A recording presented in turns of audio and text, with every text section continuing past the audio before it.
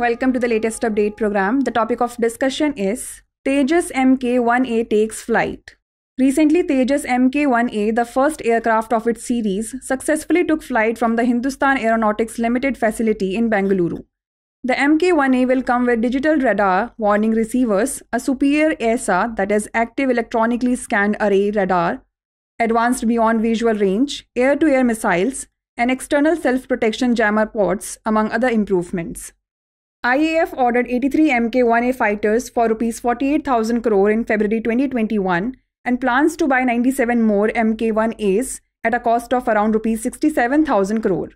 IAF, the world's fourth largest air force, is expected to operate around 350 LCAs. In October 2023, HAL handed over the first trainer version of LCA Mk1 to IAF. Of the 40 Mk1s, IAF inducted 32 single seater jets and raised two LCA squadrons. The remaining 8 aircraft are trainers, and all of them will be delivered to IAF soon.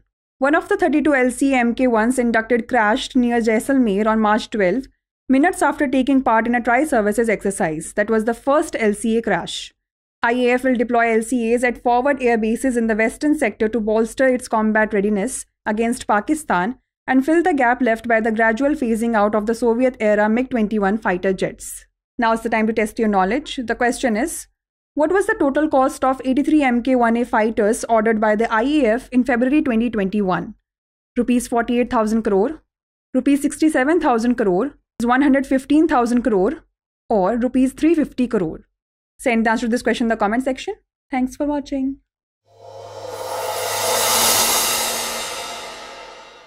For more informative content, like, share and subscribe and do not forget to press the bell icon to get the notifications.